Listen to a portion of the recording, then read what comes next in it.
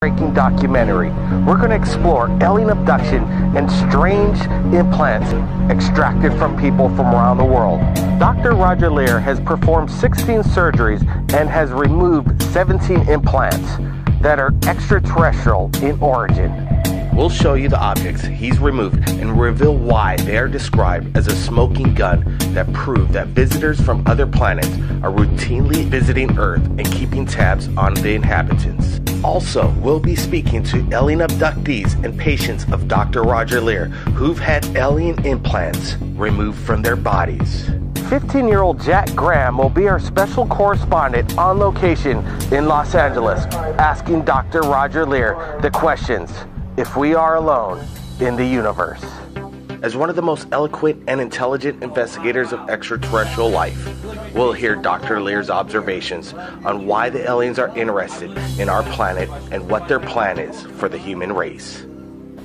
Now, where in the body do most implants usually come from? Well, that's an interesting question of where we find them in the body. Uh, what we've come to the conclusion is that they have to be in areas that are relatively superficial and near a bone. We've never found one in a body cavity such as the thorax or the abdomen or the brain. Now, we've also come to the conclusion that maybe this is necessary because the electronics of the mechanism we found that this may be necessary because it's broadcasting a signal. And when you broadcast a signal, uh, you, at least according to human technology, you have to have an antenna. And what better antenna could be than the skeleton of the body? It contains all the minerals necessary for an antenna. So perhaps that's why they're in such association with bone. The other aspect of it is if you're doing millions of these, and you're doing them all over the world, and there's a large number of abductees. The Roper poll in 1993, 1996 said that at least 2% of the American population is involved in alien abduction, and that was a conservative poll because there's a lot of people who are not going to want to answer these questions at all. And then if you multiply that by the world's population, you're talking about a lot of people. So uh, to get remote information as to what is going on within the human body, like we, we tag bears, I mean, we tag porpoises and uh, whales and so on, we can study their, their habits. Uh, how long a bear hibernates, you know, what their metabolism is during the wintertime, and so on. Even John Glenn, an astronaut, complained on national television that he had to swallow implants because mission control had to have that you know physiological information. Now, well, one of the things that we haven't talked about at all is why are implants there in the first place? Now, why exactly do you think that implants are necessary? Well, I think, again, based on human logic. And let's say, you know, uh, the human race is in a state of infancy because we haven't been around that long. A race that may be hundreds, thousands, or maybe millions of years older than we are may not use the same logic as we do. So the answer I'm going to give you is based on our human logic. It looks like to me that the entire human race is being genetically re-manipulated again. Because if you look at the children born within the last 60, 75 years, they are not the same human as a person who was my age. In fact, uh, a gentleman by the name of John White, who used to put on UFO conferences in the state of Connecticut, years ago came up, recognized this, and he came up with the term Homo noeticus instead of Homo sapien, Homo noeticus, and that means new human. If you listen to what a child has to say today, and ask them or get a feeling for where they get their knowledge from. It's not from a book. It's not from TV. It's not off the computer. They already know it. It's a different kind of human being. So if you're doing a genetic manipulation on a population, you might want to know exactly what's going on genetically without having to abduct the individual again. So you would do it remotely, like as I stated previously, with what we do with lesser animals. Now, would you, for example, reach into uh, the ocean and pull out a fish?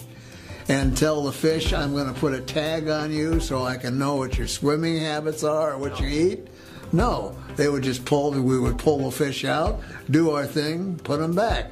We do it with manatees. I just watched Animal Planet this morning. The, the, the manatee doesn't know they have a broadcasting device. We don't explain it to them that we want to learn about their metabolism and their eating habits and so on. So they just do it. Well, that's, you know, kind of what they're doing with us they put these uh, devices in so that possibly they can gain remote information without ever having to come back and abduct us again. Now, which is another interesting thing. I've been asked, well, how come I can take them out? Do, do aliens want it to be found? Do the well, you know, that that's a good question. Do aliens want it to be found? And if they if they didn't, I guess I wouldn't be taking them out. You know, and then I get asked, well, who else is doing this? And as far as I know, I'm the only person in the world. And I did research you know, prior to the time I did the first one, even though I thought it was going to be a funny, funny joke, joke, joke, I wanted to see how many implants were taken out previously. And all I did was I read through the UFO literature and I saw the things were taken out. They turned to powder, they disappear, they dropped, they did this, they did that, but nobody ever came up with anything. And so I do cases and I come up with actual physical objects that can be sent to material scientific laboratories and get opinions. I mean, you know, I, I can't explain that. That's that's strange. And if somebody had told me, you know, 50 years ago that I would ever be doing anything like this, or would have traveled to 42 countries, or have done the things that I've done, or have done the television programs and radio programs I've done, I would have told them they were nuts. Now, I know you uh, removed many implants. How similar are the implants to one another? Are they each clones of themselves, or do they vary? well, the implants that we have removed uh, in the past, we have about seven that look exactly the same. And if you lined them all up on gauze sponges, you would never tell one from the other. We have a few that are, are different, but I've synthetically divided them into three categories ones that are metallic and covered with a biological coating, ones that are non-metallic, and one that is biological. And uh, each uh, operates a little bit differently. But the ones, the seven that we have that are metallic rods with biological coatings are virtually all the same. Interesting. Now, do you personally believe that you've been contacted by aliens? Uh, I would have to say uh, the answer to that is yes. Uh, I can tell you an episode that occurred with uh, my family, my daughter and myself, in Laughlin some years ago, which I wrote a book. Uh, I wrote a part of a book called Chop Liver and we talked about that incident. But um, during the awards banquet that we were having at the conference, uh, I was asked to come outside with my family. So there was a lot of people who were lined up at the uh, at the fence along the uh, Colorado River. And I, we were in back of a, a, lady in a white dress, and I said, "What, what's going on? What's happening here?"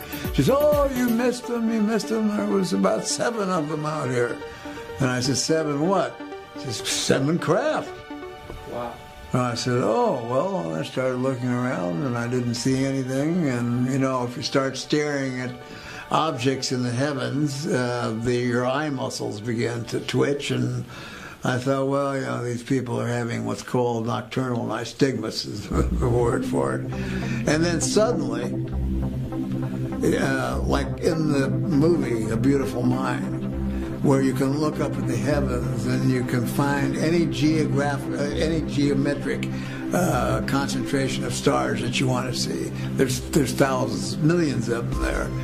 You know, so we our attention was called to a triangle of stars. Now there was a big, bright, full moon, really bright. And right below the moon was this triangle of stars. And the, the all 40 people seemed to be concentrating on this triangle of stars. And then suddenly the bottom two stars started to move. And they came downward and they went into a pair and they slowly went towards the corona of the moonlight and disappeared. And uh, at the same time, I think everyone there got a telepathic message yes, we're here, believe it, bye bye. And my daughter, who was about 12 years old at the time, said, Dad, are those folks coming back again? So, yes, I, I believe I have been contacted by non terrestrial beings. Fascinating. Now, what would you say is the most credible argument you've ever heard for abduction? Well, the most credible, credible argument that I've heard for abduction in the cases that we've done surgery on uh, would be very hard to delineate because when we set up our set of criteria and protocols, uh, the individual must have some kind of a memory of being associated with the abduction phenomenon when when Bob Bigelow or NIDS decided to take on this this responsibility of doing the metallurgy, I had to do some studying so that I could just interpret what they had to say. And I got so started getting reports back, and uh, the first report we got back was they were they were comparing. This was Los Alamos National Laboratory. They were comparing these to meteorite samples. Wow. Well, we know if somebody didn't step on a meteorite or get one whacked through the back of his hand, it wouldn't So it has, to, it has to come from outer space. had to come from outer space, and they're calling them meteorite samples. So that was rather mind blowing. So that was the beginning of the scientific aspect. So I figured, well, you know, if we're going to carry on with this, we better set up some scientific protocols and criteria for doing this kind of work. Uh, and then we formed our 501c3 nonprofit organization, A&S Research, and uh, no charges were then ever made to um, any of the surgical candidates. I see. Now, I know because you've written a lot of books, clearly. Most people must have heard about them.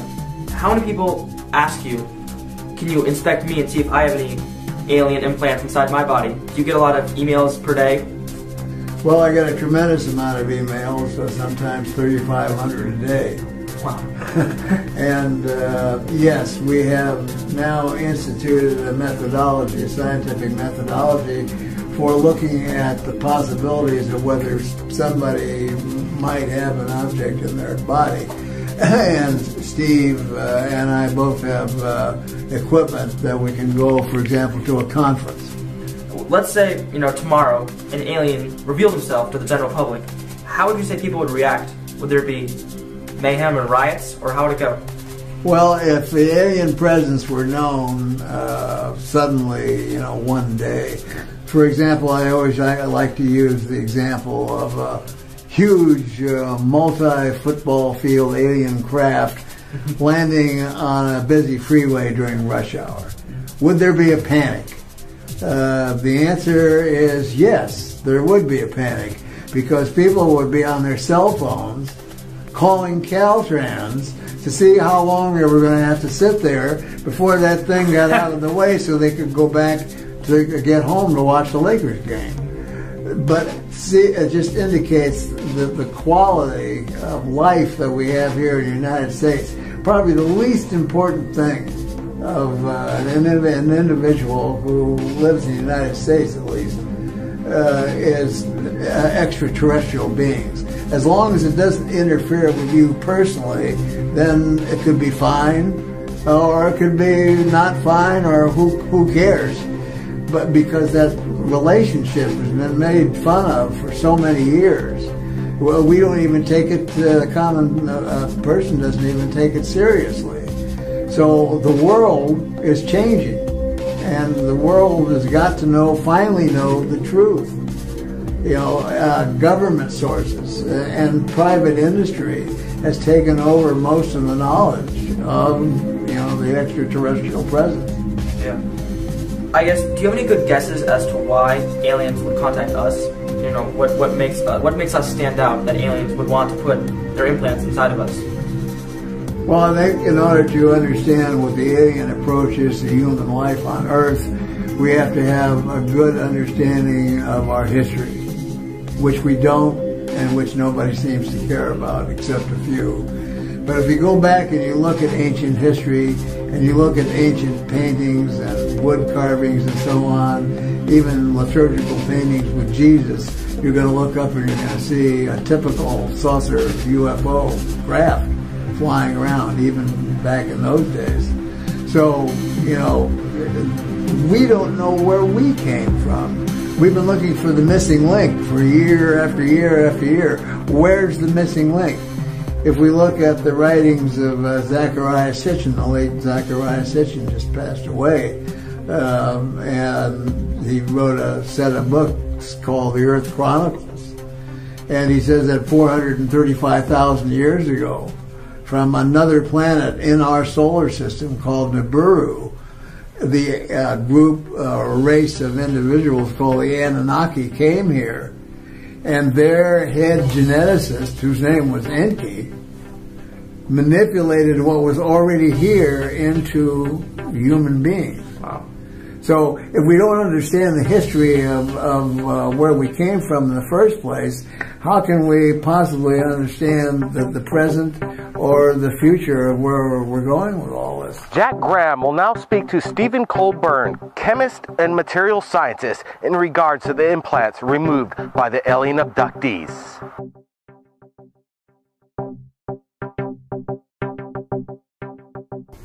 So, can you tell me a bit about yourself and your role within this program? Yeah, I'm, I'm, uh, my name's Steve Colbern. I'm a material scientist. Um, I was educated at UCLA, and um, I uh, work in Camarillo, just a few blocks from where uh, Dr. Leir works. And um, uh, after we met, um, uh, we decided to have a collaboration on uh, analyzing these objects more thoroughly. Um, a lot of the objects that he removed had not been analyzed um, adequately, so uh, I have done a lot of uh, microscopy and um, elemental analysis on these objects and uh, come up with some interesting findings. Um, one thing we found out is that um, the devices are definitely nanotechnological uh, nanotechnological devices. Um, they're not just simply uh, metallic objects that somehow got into the body. Uh, carbon nanotubes are the field I'm working in in my, my regular job. Um, and they give off radio signals um, and um, they have uh, odd nanostructures in them made of carbon nanotubes. Uh, carbon nanotube electronics are a uh, hot topic in material science today, uh, by the way, there's many amazing properties about them. The aliens have apparently perfected the technology to use carbon nanotubes in these devices. And um, uh, there are proprioceptor nerves that, that um, go into these, uh, the tissue capsule or a gray membrane around these devices. And um, well, one of the one of the most fascinating findings was that um, that these devices contain uh, many of them contain meteoric iron uh, from the uh, judging from the trace element pattern of um, gallium, germanium, uh, uh, precious metals like iridium and platinum. And iridium is not found on Earth in any great amounts. And um, uh, we did the isotopic analysis of various elements from the metallic cores of several of these devices and found out that um, they uh, were made from off-planet material, um, extraterrestrial material. Um, there's a certain pattern of isotopes uh, for each element on Earth, and if, if that pattern is uh, is varying by more than a percent or so, then it's um, uh, a um, the conclusion can be drawn that, it came, that the material came from off-planet. Um, and uh, some of the isotopic ratios and the elements in these um, devices are extremely skewed compared to uh, quite unlike um, uh, the uh, isotopic uh, ratios of elements on Earth. Um, in fact, uh, Dr. Kunz, our colleague who's also involved in the research, um, concluded that they probably came from um, somewhere else in the galaxy. they don't even seem to be from our solar system. Uh, these um, devices have uh, carbon nanotube networks inside the metal. So um, they're obviously manufactured devices, and they seem to be uh, well beyond uh, the technology for, of civilian science at this point. So it's not possible that this something like the nanotubes could be made through nature. It has to be manufactured. No, they were discovered in 1991 um, in uh, Western science. The Russians discovered them perhaps 10 years before that, um, but uh, they're not known to be found in nature, um, and uh, certainly not in, uh, in meteorites. Um, So there's no way that it could be faked, really. no, I don't think so. I, it, it, some people have argued that these devices could be made by black government projects, but I, I think that the fact that they contain extraterrestrial material argues strongly against that. So what you're you're saying that this is it was discovered in 1991, right? The, the nano, the Yeah, nanotubes. and many of these objects And date, date from, before. date from well before the discovery of carbon nanotubes and, uh, and science on Earth. Um, these um, people re- reported uh, that these objects were put in you know, like 30, 40 years before a lot of times. So when you say nanotubes, do you mean that these these things could be used to store information, perhaps? Um, yeah, they're, they can be made into uh, electronic networks. Um, carbon nanotubes are um, they're um, like uh, let me give you a little bit of background. Graphite is um, a hexagonal array of carbon atoms, and the, these arrays, these layers, are stacked. If you take one of these layers, one of these hex- hexagonal arrays of carbon atoms, and roll it up into a tube, that's a carbon nanotube. And uh, there's um, various types of carbon nanotubes with different um, numbers of walls, and single wall are the most uh, studied right now. And these these contain single wall carbon nanotubes. Single wall carbon nanotubes are um, often less than a nanometer in diameter. These are small diameter single wall carbon nanotubes that are in these devices, and they, those can be used as electronics because there are uh, metallic and semiconducting single wall carbon nanotubes. So you're saying this is very tightly stacked, and if you took out all the, you laid it end to end, it would definitely be a lot larger than it would. So all this information is tightly stored together, compacted. Yeah, I, I would think so. Yeah, the, the total length of the carbon nanotubes in one of these things might be several miles. Uh, I haven't figured it out, but Wow. it's, it's got to be a lot. So the technology used to compact that much information so tightly seems to be pretty futuristic.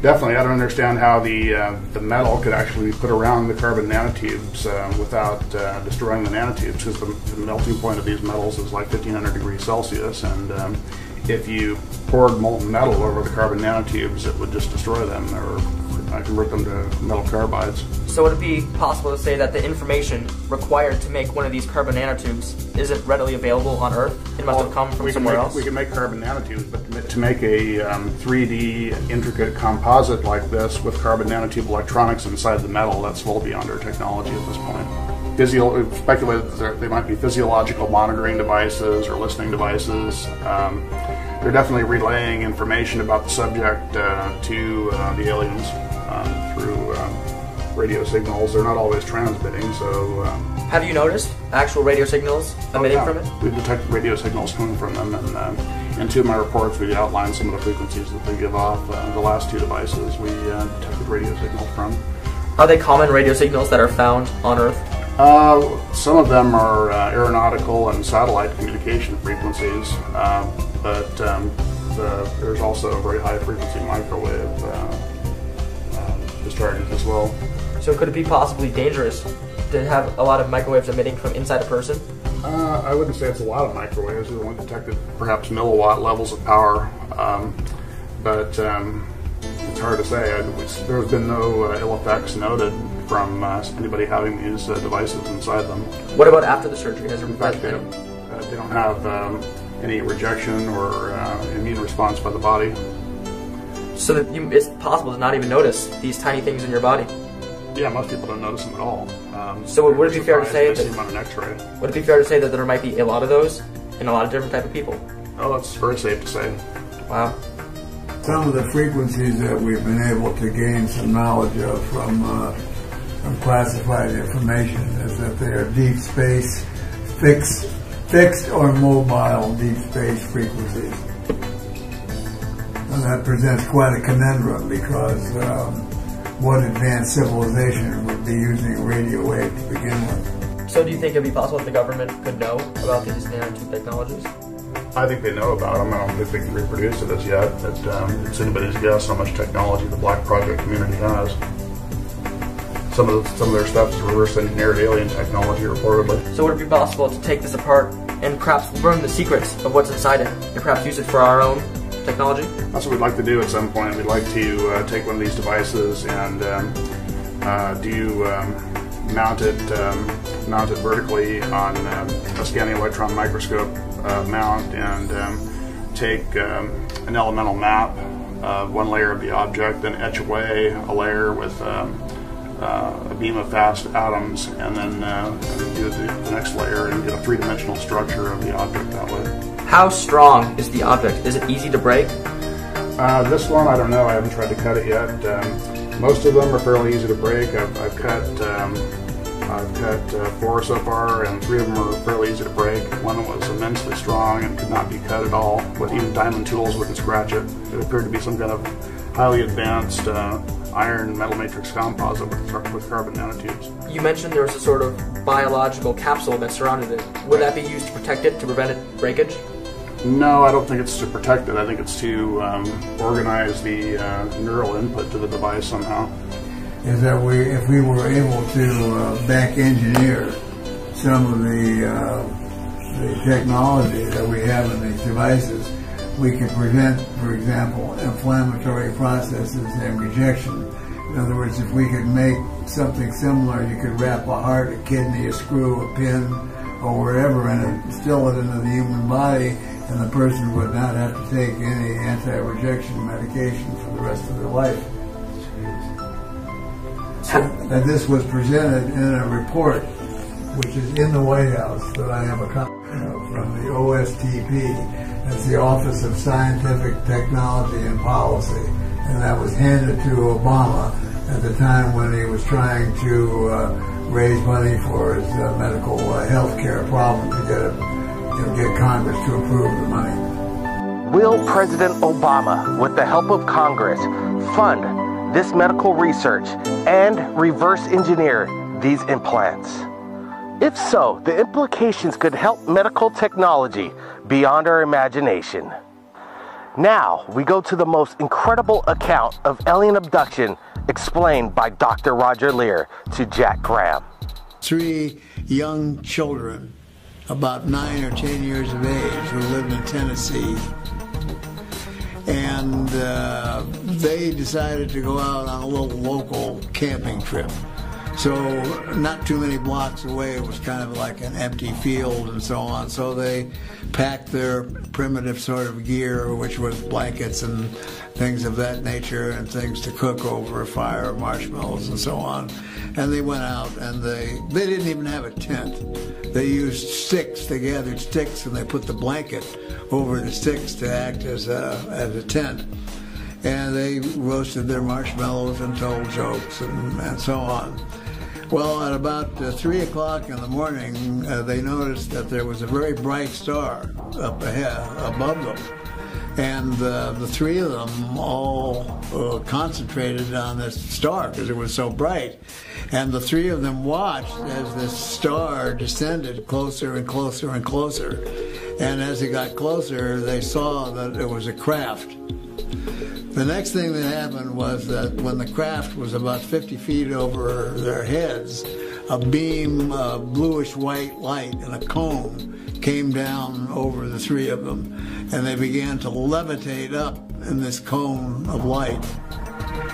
Now, uh, if someone had done that to me at my age, I'd be have a little bit of trepidation because, you know, if you're going up, and the cone of light, I mean, the first thing that would come to my mind would be the fear of Panic. falling back down. You know, there's nothing holding you.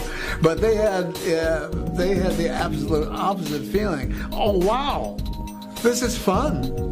We're having fun. You know, we're going up in this light. So they get up into the craft, and then they're in a, a round room that kind of uh, looks like a hangar. And uh, there are typical bumper sticker gray beings that are there. And so they say, well, you know, what's what's happening? Man, what's what's what's going on? I said, you know, have no fear. You're going to be returned. You'll be fine. Uh, we're just going to you know take a look at you folks for a few minutes and so on. But their their fear was in being separated. greater fear for each other than for each as an individual. Then, when they finally were separated, they were taken down different corridors that went off this room. And under hypnotic regression is when they described what they saw off the corridors, which were rooms that looked like hospital rooms. And uh, the one that we went through most of the uh, hypnotic regression uh, was placed in a room unclothed uh, and placed on a table that he couldn't tell whether it was jutting out of the wall or whether it was on a pedestal. And uh, although he thought it was metallic, it was neither hot nor cold. It was very form-fitting. Uh, but then an instrument was used to uh, that he described that actually put the uh, implant in his uh, wrist. And uh, when he did this, um, he didn't feel too much of anything. But uh, if he got uh, nervous uh, and so on, always one of the gray beings would come very close to him, and with their black eyes, they would get very close and look into their eyes, and this aura of calmness would come over them. Uh, once this was done, uh, they were uh, examined and taken out, and the three kids were back together again in this large hangar-like room. And the next thing they remember, they're lying back on the campsite again, and the craft is uh, slowly moving up, and bang, it was it was gone.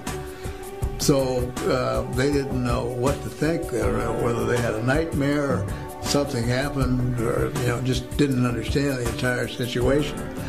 One of the things that makes this case so unusual is that all three kids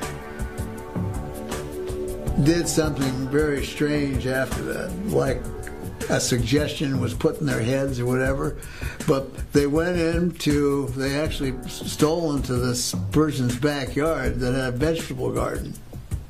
And they tore up the vegetables and ate them. And that's one of the most unusual cases that I've heard of yet. So they must have been told to, to do this for some reason because some folks that are involved in the abduction phenomena come back with symptoms. They feel muscle aches, pain, fatigue, uh, feelings of the flu, dehydration, and so on.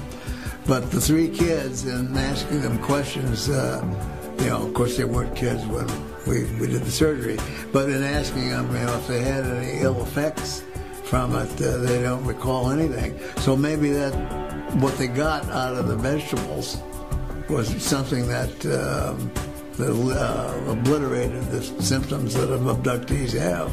Now, what procedures and protocols do you follow for the surgery? Well, the procedures and protocols that we follow have to be kept 100% in order to make this a scientific study, because we try and stay with the scientific method. One of the things we do is when a patient contacts me, they have to convince me that they have an object. And that's either through an x-ray or a CAT scan. We don't accept MRIs because MRIs can produce false positives for foreign objects. For example, in an MRI, if you're looking uh, through a slice right through the top of a blood vessel and there's blood flowing through a, a vessel, you'll see a nice bright spot. But that's not a foreign object. All it is is a cut through a blood vessel. So if they send me x-rays or a CAT scan, then I take them to the radiologist and I get it confirmed that this is a, a foreign body and what is the guesstimation of the material is. Is it more dense than the surrounding bone? Is it less dense than the surrounding bone? Uh, we know if it's more dense than the surrounding bone, it's probably on the metallic side. Uh, also, we have other, we've had a couple of cases that were dental cases, and uh, these were dental x-rays. So we have uh, dental experts that go ahead and will look at the x-rays and then want to make suggestions as to whether they need further films, uh, a Panorex or a CAT scan. So once it's been established that there is an object there, then the next thing we do is we send that client uh, a package of questions and they have to answer all the questions. There are no right and there are no wrong answers, but it gives us a complete background of what the possibility of their actually being involved with the abduction uh, program is. Also, one of the forms amongst this questionnaire is a grade is a gradable uh, form on probabilities. So if they're over 35% probable, then they've been involved. Now, lots of people step on things. Lots of people have, uh, you know, they want two seconds of fame on television or to get filmed. There's a lot of reasons for people that uh, contact me. They may be not abductees at all. Uh, some abductees uh, don't get along well with the problems. And as the late John Mack wrote in his book, there are seven traumas that are involved with alien abduction, and only one of them is the event itself. Another one is who are you going to tell? Who are you going? Yeah. Who's going to believe you? So you have this argument that goes on continuously. So a lot of these people are not well adjusted. A lot of abductees have problems. They can become alcoholics, drug addicts. They can be confined in mental institutions. So uh, you you have to you know sift out these people to become part of this study, and this is one of the first things we do. Then once they are accepted as a possible surgical candidate, do they want the surgery? Do they want it removed? And if so, if they agree that they do want it removed, they have to understand that the product that we're going to remove becomes the the ownership becomes part of A&S research, and that we promise to give to the rest of the world as scientific knowledge. And if they're not willing to do that, then we don't accept them as a patient. So if we look at statistical numbers, you know, let's say 10% out of 100 might be a true surgical candidate. 1% of them will only be ones that will operate on. Now, have any scientists tried to, uh, you know, talk to you and give possible explanations for what it is instead of aliens and try to prove you wrong? Uh, when I talk to the academic scientific uh, community, they're also interested in the uh, in the analysis and the intrigue of what they're looking at at a on a scientific academic basis uh, that they don't even offer a lot of times suggestions. If we do it and they're being paid, for example, for a television program, they'll actually get them to lie on camera. Uh, also, scientists, uh, by and large, are prey to higher masters, as other people, you know, in other fields of like occupations do.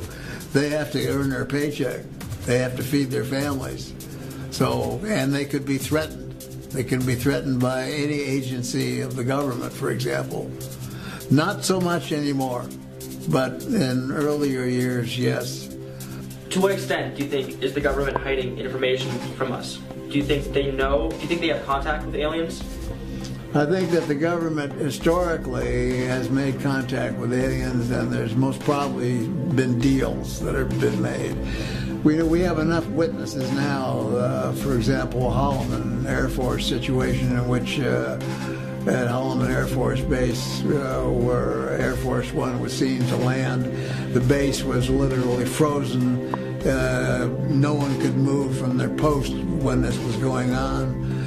there was lots of witnesses to things that were happening. Two guys, two electricians, up on a uh, pole were told to stay there and not move till all this was over, and that was near the runway. Then they saw three circular craft come flying overhead. Uh, one of them uh, began to hover over the runway when Air Force One stopped. Another one took off and went 20 miles away and hovered over a park. And the third one was somewhere else lingering around. And uh, it was said by the lineman who had a good view of this whole thing that Eisenhower, President Eisenhower at the time, got out of that plane walked over to the craft. They saw a ramp come down. He walked up the uh, ramp and shook hands with some kind of a non-human being. Went in, was there for about 20 minutes, came back out again. The uh, craft, uh, alien craft, took off. Air Force One took off and instead of following the rules and regs that they had set up for landings at that base, they took off and flew directly within 50 feet off the roof of the hospital. Jeez. So uh, this is this has been you know cited as one of the examples, but certain presidents were in the know, certain presidents were not probably in the know, and today I believe that the situation is totally different. I believe that most of this information today is in the hands of the giant uh, monarchs of industry, these multi-lateral uh, lateral country uh, uh, companies that uh, are, you know, some of them are part of the military-industrial complex, and some of them are industry itself. And it's the greed that keeps propelling this on and on and on. But it looks like they're getting to the point now where they're starting to eat each other because I guarantee you that Standard Oil, with its uh, concentration on fossil fuel energy, is not really interested in what Monsanto is doing, making GMO foods. And Monsanto with uh, GMO foods is uh, not really interested in a free energy system that somebody else might develop. So things are changing rapidly. And uh, of course, with the citizen hearing that's going to be held at the end of the month in Washington, D.C., uh, and it will be streamed out to the world, we expect half the population of the world to watch this congressional hearing and hope, with hope, that the government will actually start releasing information. With trillions of planets in the universe, it's hard to believe that planet Earth is unique. Odds are that life exists elsewhere. And while life on some planets may be less advanced than us, chances are that more advanced life forms will also exist. So the question becomes, will these advanced life forms have the ability to travel to Earth? And, if so, secretly tag us with extraterrestrial hardware during their visits? Prior to interviewing Dr. Leir, I might have said no. But while I still have my doubts, Dr. Leir makes a fascinating case for this, and now I'd like to know more. Jack, in his quest for the answer, has reached out to Third Phase of Moon to speak with the alien abductees who've had implants removed by Dr. Roger Leir. We have provided him the contact information. Mary, who wants to remain anonymous, and Tim Cullen have come forward to speak with Jack and answer his questions in regards to their alien abduction and the implants removed by Dr. Roger Leir. Hi, I'm Jack. Tell me about your abduction. I have had my family, it runs in my family. My brother has had experiences. His family, um, since the marriage, has had experiences. Uh, my hu- husband underwent experiences, as did I, from being married into my family. it seems like that was the protocol for marrying into the family. And um, because I had had unusual experiences from the time I was really, really small and my brother too from the time he was an infant. And I believe they started with my mom and dad because uh, my dad had had some sightings. I had had a sighting. My mother had a sighting of a UFO over our home. Um, it was it ran in the family, and uh, there were a lot of experiences that my husband and I had in um, in the 1970s, 80s, and 90s. And he would actually get night terrors which we thought were from, um, is a Vietnam veteran, had experiences in Vietnam and thought it was post-traumatic stress syndrome. It turns out it wasn't from Vietnam. He actually then started remembering in the early 90s that the night terrors he was experiencing was from these creatures being in our home and taking us at night. What was your reaction when you realized you had been abducted by extraterrestrials? Let's see, it was removed in 1996, probably about six months to a year sooner before that, I realized um, I had a scoop mark on my leg. and I did not know there was an implant in there. Had no idea. I just saw this scar on my leg and um, on my left calf.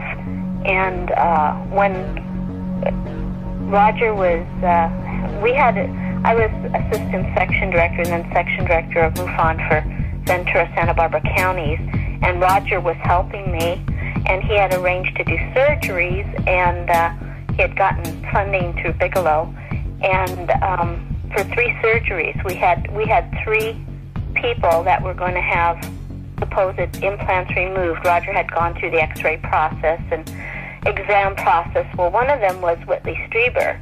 He had an object in his ear, and he was to be one of our guest speakers, and then go ahead and have a surgery.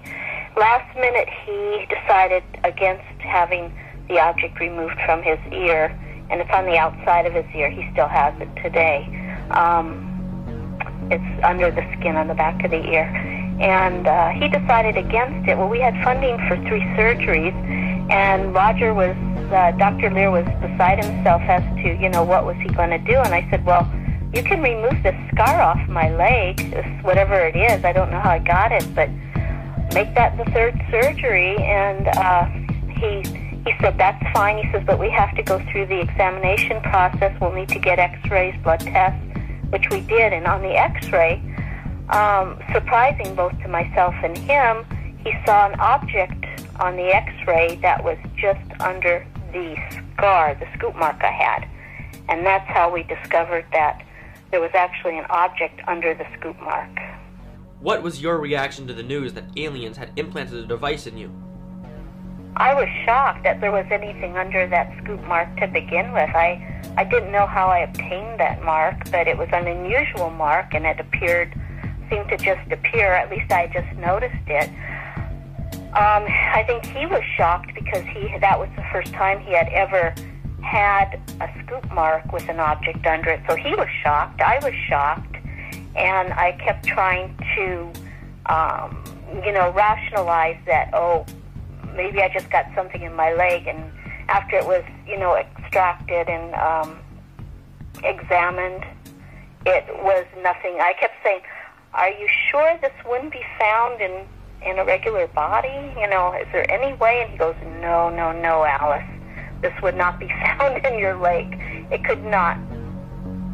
You know, it would not be." Uh, there naturally by any means. It wasn't a calcification or anything like that. It had a lot of unusual um, characteristics, and he's since then done some more um, uh, surgeries that have had uh, the same type of object.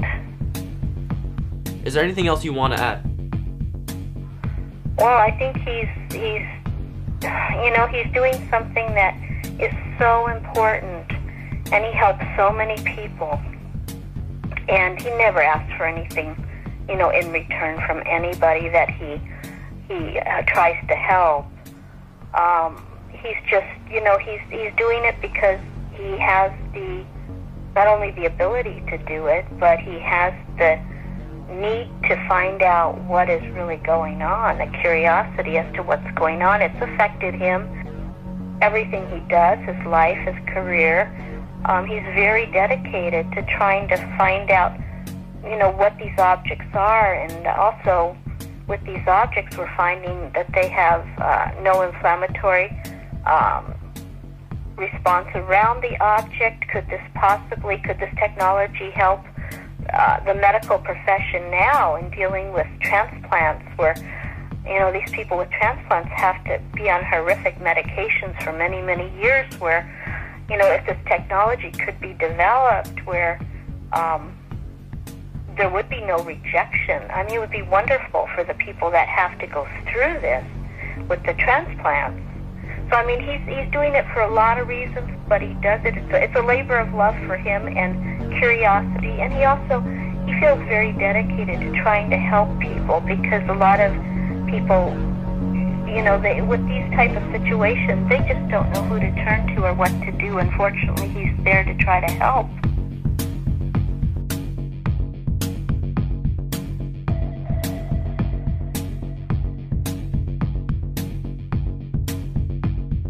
Where is your chip implanted? The implant was in the, it was located in my left wrist area, arm wrist area, uh, almost identical to another, uh, another, uh, sur- the 15th surgery Dr. Leir done on Ron Noel. His implant is the same shape as mine, a cantaloupe seed type object, and located in uh, basically the left wrist area. In fact, uh, we kind of wonder if we could almost put the x-rays over each other and they'd almost be in the same spot. Did it hurt after the surgery? Yeah, when they got a hold of the object, it felt, you know, I felt it, a lot of pressure and uncomfortable with my arm. Like it was, you know, got chicken winged, and I kind of had to carry it in a sling for a little while, but then it, it calmed down. It really, you know, like I said, it was just uh, like it was just being, uh, arm was being abused. I realized this thing was hooked to my nervous system because when I became aware of it, you know, it was like it was aware of me and I was aware of it. The link between the implants and the abductees themselves are questions we may never know. But the real question here is are we alone? And the answer is these implants are extraterrestrial in origin, thanks to young Jack Graham asking the questions and Dr. Roger Leir's answers. We are not alone in the universe. My name is Blake Cousins, and we'll see you again next time. Third phase of moon.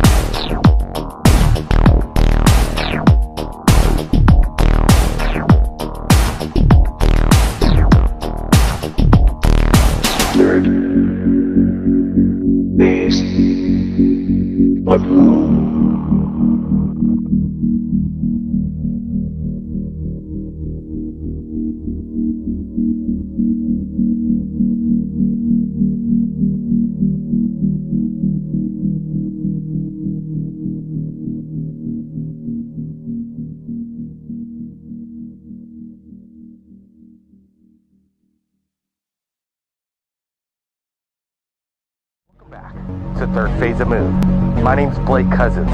In this groundbreaking documentary, we're going to explore alien abduction and strange implants extracted from people from around the world. Dr. Roger Leir has performed 16 surgeries and has removed 17 implants that are extraterrestrial in origin. We'll show you the objects he's removed and reveal why they are described as a smoking gun that prove that visitors from other planets are routinely visiting Earth and keeping tabs on the inhabitants. Also, we'll be speaking to alien abductees and patients of Dr. Roger Leir who've had alien implants removed from their bodies. 15 year old Jack Graham will be our special correspondent on location in Los Angeles, asking Dr. Roger Leir the questions if we are alone in the universe. As one of the most eloquent and intelligent investigators of extraterrestrial life, we'll hear Dr. Leir's observations on why the aliens are interested in our planet and what their plan is for the human race. Now, where in the body do most implants usually come from? Well, that's an interesting question of where we find them in the body. Uh, what we've come to the conclusion is that they have to be in areas that are relatively superficial and near a bone. We've never found one in a body cavity such as the thorax or the abdomen or the brain. Now, we've also come to the conclusion that maybe this is necessary because the electronics of the mechanism, we found that this may be necessary because it's broadcasting a signal. And when you broadcast a signal, uh, you, at least according to human technology, you have to have an antenna. And what better antenna could be than the skeleton of the body? It contains all the minerals necessary for an antenna. So perhaps that's why they're in such association with bone. The other aspect of it is if you're doing millions of these and you're doing them all over the world, and there's a large number of abductees. The Roper poll in 1993, 1996 said that at least 2% of the American population is involved in alien abduction, and that was a conservative poll because there's a lot of people who are not going to want to answer these questions at all. And then if you multiply that by the world's population, you're talking about a lot of people. So uh, to get remote information as to what is going on within the human body, like we, we tag bears, we tag porpoises and uh, whales and so on. We can study their, their habits, uh, how long a bear hibernates, you know, what their metabolism is during the wintertime and so on. Even John Glenn, or an astronaut, complained on national television that he had to swallow implants because mission control had to have that you know physiological information. Now, well, one of the things that we haven't talked about at all is why are implants there in the first place? Now, why exactly do you think that implants are necessary? Well, I think again based on human logic, and let's say you know uh, the human race is in a state of infancy because we haven't been around that long. A race that may be hundreds, thousands, or maybe millions of years older than we are may not use the same logic as we do. So the answer I'm going to give you is based on our human logic. It looks like to me that the entire human race is being genetically re-manipulated again. Because if you look at the children born within the last 60, 75 years, they are not the same human as a person who was my age. In fact, uh, a gentleman by the name of John White, who used to put on UFO conferences in the state of Connecticut, years ago came up, recognized this, and he came up with the term Homo noeticus instead of Homo sapien, Homo noeticus, and that means new human. If you listen to what a child has to say today, and ask them or get a feeling for where they get their knowledge from. It's not from a book. It's not from TV. It's not off the computer. They already know it. It's a different kind of human being. So if you're doing a genetic manipulation on a population, you might want to know exactly what's going on genetically without having to abduct the individual again so you would do it remotely, like as I stated previously, with what we do with lesser animals. Now, would you, for example, reach into uh, the ocean and pull out a fish? and tell the fish, I'm going to put a tag on you so I can know what your swimming habits are or what you eat? No, they would just pull, we would pull the fish out, do our thing, put them back. We do it with manatees. I just watched Animal Planet this morning. The, the, the manatee doesn't know they have a broadcasting device. We don't explain it to them that we want to learn about their metabolism and their eating habits and so on. So they just do it. Well, that's, you know, kind of what they're doing with us. They put these uh, devices in so that possibly they can gain remote information without ever having to come back and abduct us again. Now, which is another interesting thing. I've been asked, well, how come I can take them out?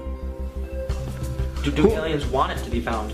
Do the well, you know, that that's a good question. Do aliens want it to be found? And if they if they didn't, I guess I wouldn't be taking them out. You know, and then I get asked, well, who else is doing this? And as far as I know, I'm the only person in the world. And I did research you know, prior to the time I did the first one, even though I thought it was going to be a funny, funny joke, joke, joke, I wanted to see how many implants were taken out previously. And all I did was I read through the UFO literature and I saw that things were taken out. They turned to powder, they disappear, they dropped, they did this, they did that, but nobody ever came up with anything. And so I do cases and I come up with actual physical objects that can be sent to material scientific laboratories and get opinions. I mean, you know, I, I can't explain that. That's that's strange. And if somebody had told me, you know, 50 years ago that I would ever be doing anything like this, or would have traveled to 42 countries, or have done the things that I've done, or have done the television programs and radio programs I've done, I would have told them they were nuts. Now, I know you uh, removed many implants. How similar are the implants to one another? Are they each clones of themselves, or do they vary? well, the implants that we have removed uh, in the past, we have about seven that look exactly the same. And if you lined them all up on gauze sponges, you would never tell one from the other. We have a few that are, are different, but I've synthetically divided them into three categories. Ones that are metallic and covered with a biological coating, ones that are non-metallic, and one that is biological and uh, each uh, operates a little bit differently. But the ones, the seven that we have that are metallic rods with biological coatings are virtually all the same. Now, do you personally believe that you've been contacted by aliens? Uh, I would have to say uh, the answer to that is yes.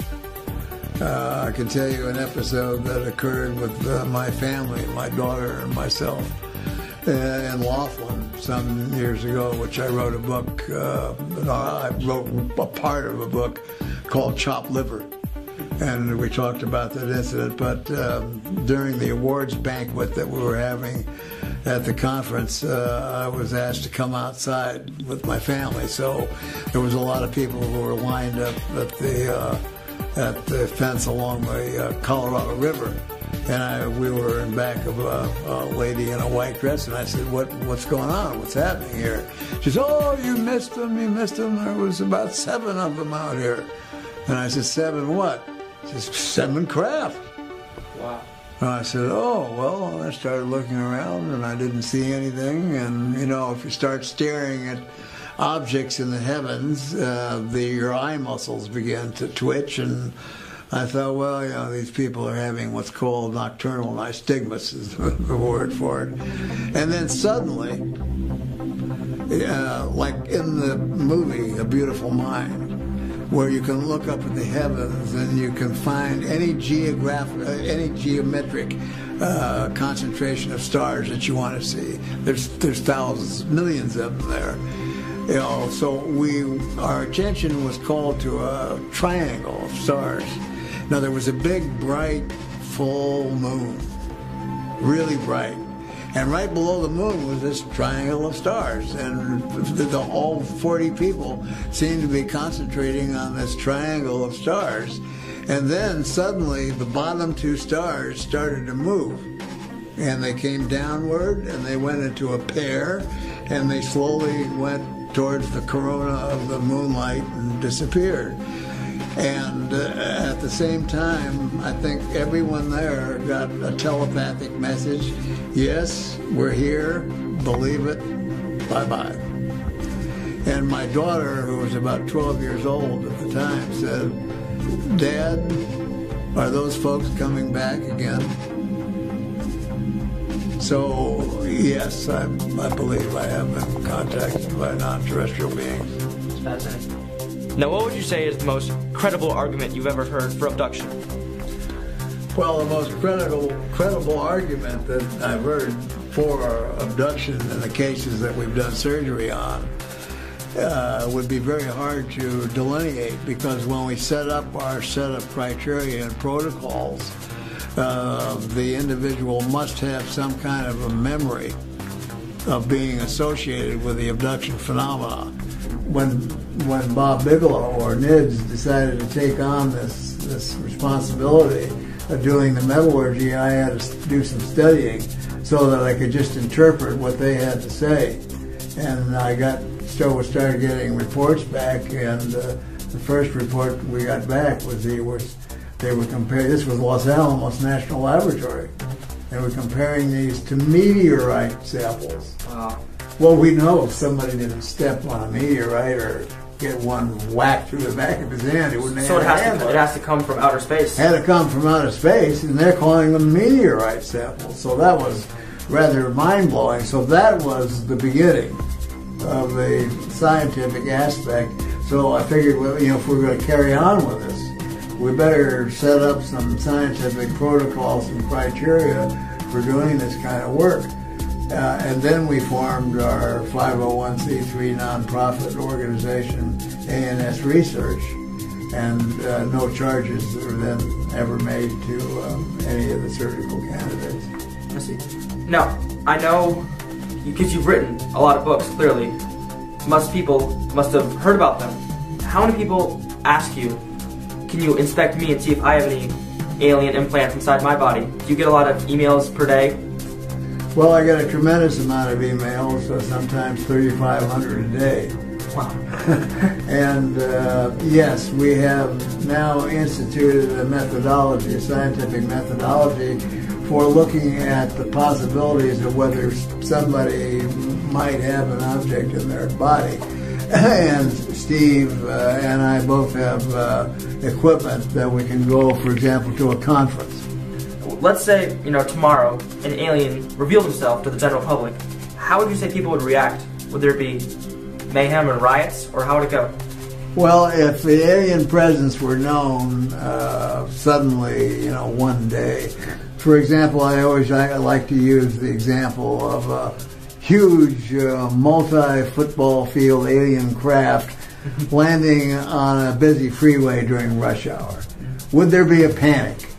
Uh, the answer is yes, there would be a panic because people would be on their cell phones calling Caltrans to see how long they were going to have to sit there before that thing got out of the way so they could go back to get home to watch the Lakers game. But see, it just indicates the, the quality of life that we have here in the United States. Probably the least important thing of uh, an, an individual who lives in the United States, at least, uh, is uh, extraterrestrial beings. As long as it doesn't interfere with you personally, then it could be fine, or it could be not fine, or who who cares?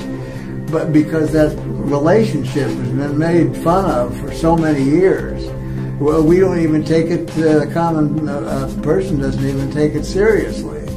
So the world is changing, and the world has got to know, finally know the truth.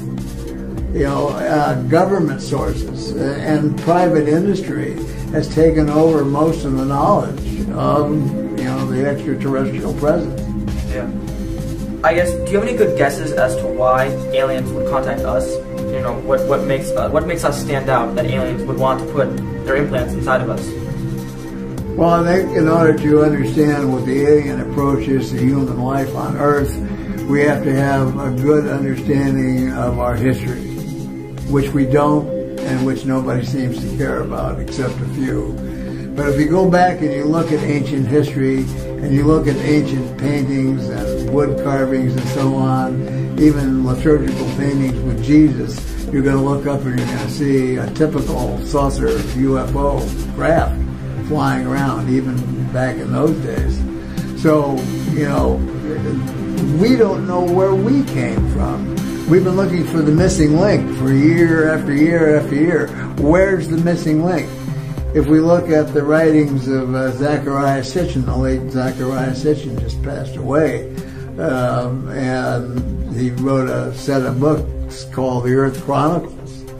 And he says that 435,000 years ago, from another planet in our solar system called Nibiru, the uh, group or race of individuals called the Anunnaki came here, and their head geneticist, whose name was Enki, manipulated what was already here into human beings.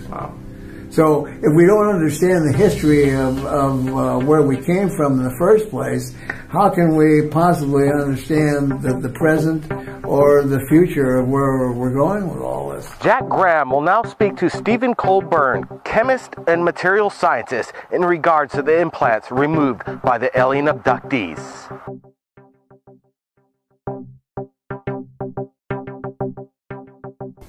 So, can you tell me a bit about yourself and your role within this program?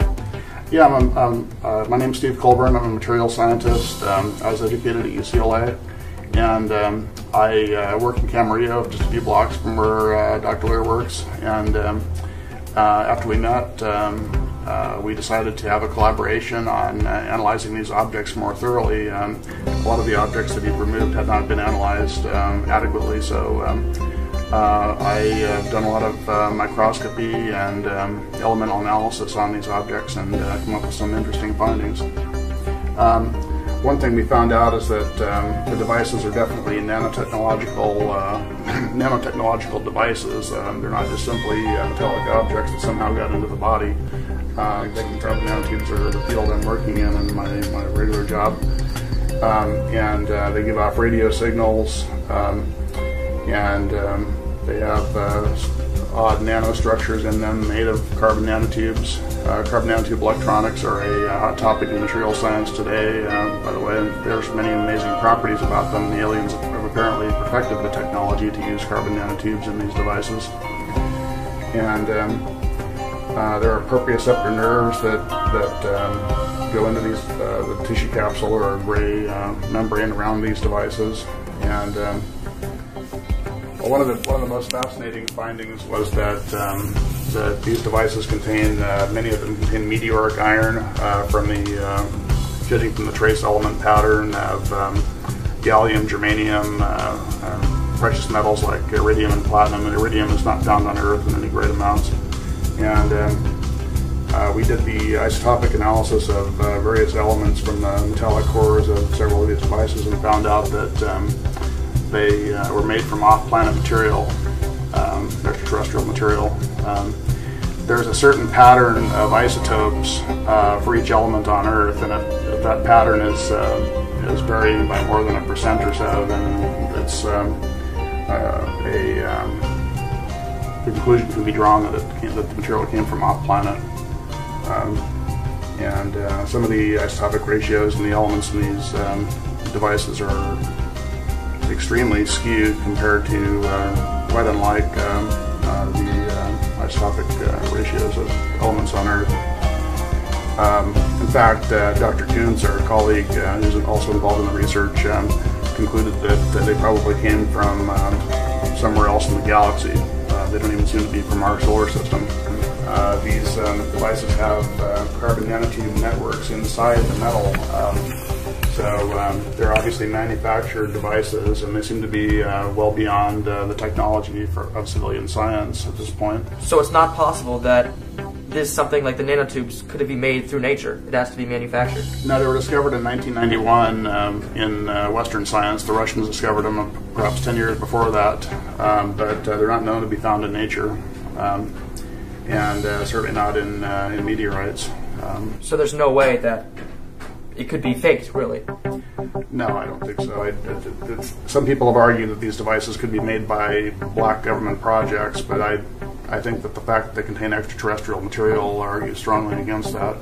So what you're saying that this is it was discovered in 1991, right? The, the nano, the nanotubes. and many of these objects And date, these date come from, before. date from well before the discovery of carbon nanotubes and, uh, and science on Earth. Um, these um, people re- reported uh, that these objects were put in you know, like 30, 40 years before a lot of times. So when you say nanotubes, do you mean that these these things can be used to store information, perhaps? Um, yeah, they're, they can be made into uh, electronic networks. Um, carbon nanotubes are um, they're um, like uh, let me give you a little bit of background. Graphite is um, a hexagonal array of carbon atoms, and the, these arrays, these layers, are stacked.